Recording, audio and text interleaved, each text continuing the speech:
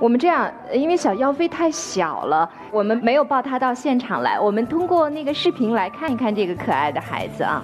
哦，这是十五天的时候。好漂亮的宝宝啊！寻找那已失踪的太阳，寻找那已失踪的月亮，轻轻的我的宝贝。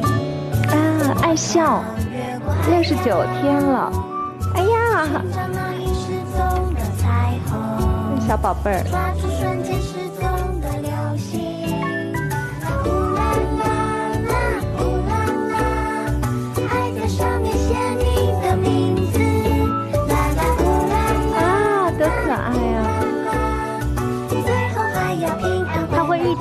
大一点。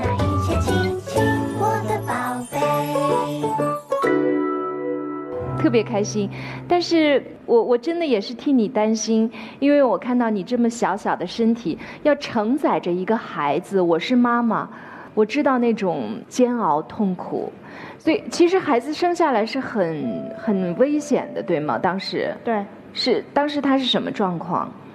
当时他生下来的时候。是窒息的，没有哭声。我们这里有一段视频啊，给大家看一下。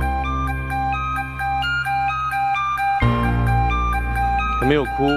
对。